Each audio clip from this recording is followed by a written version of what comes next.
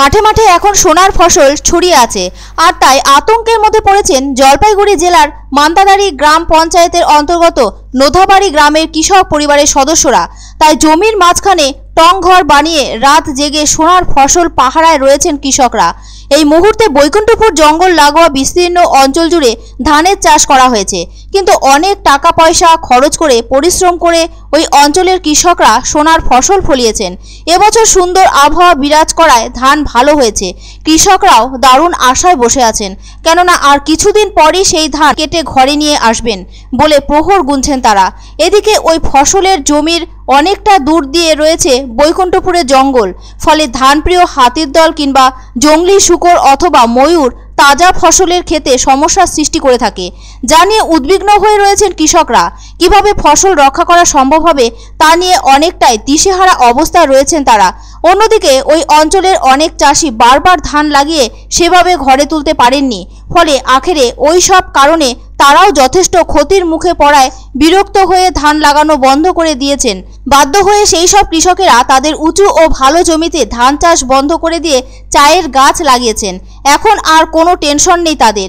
চায়ের বাগানে হাতিদের তেমন উপস্থিতি কোনো ক্ষতির কারণ হয়ে দাঁড়াচ্ছে না বলে অভিমত নতুনভাবে চায়ের বাগান করা চা চাষিদের।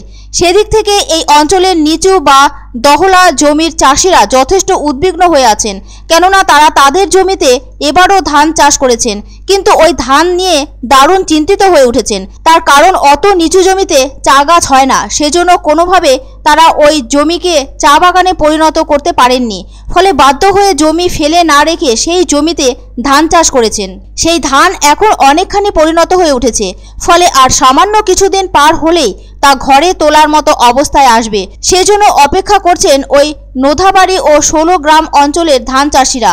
স্থানীয় এক চাষি জানান, ধানের শীষে সকালের রোদ লেগে সোনালি রং যেন মনকে ভালো করে তোলে তাদের। এখন ওই ধান বাঁচাতে রাত পাহারায় থাকতে হচ্ছে তাদের।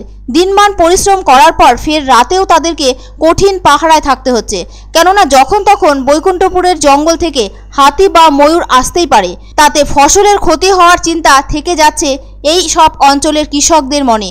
কেননা তাদের জমিগুলি জঙ্গল ঘেরা অবস্থার মধ্যে রয়েছে। সেজন্য এ ধরনের খারাপ আশঙ্কা তাদের মনে দেখা দেবে সেটাই স্বাভাবিক।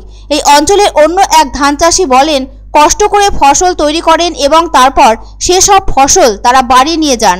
কিন্তু এবার সেই ফসল বাড়ি নিয়ে যেতে পারবেন কিনা সেই অনিশ্চিত অবস্থায় রয়েছে তাদের কাছে। তারা বলেন, তাদের ফসলের ক্ষতি হয়ে থাকলেও সে ব্যাপারে কোনোভাবে বন দপ্তর থেকে ক্ষতিপূরণ মেলে না।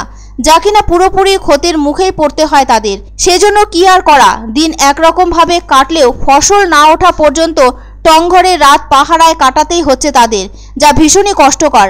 এত পাহারায় থেকে শেষ পর্যন্ত ফসল ঘরে তুলতে পারবেন তো? সেই প্রশ্ন এখন কৃষকদের কাছে।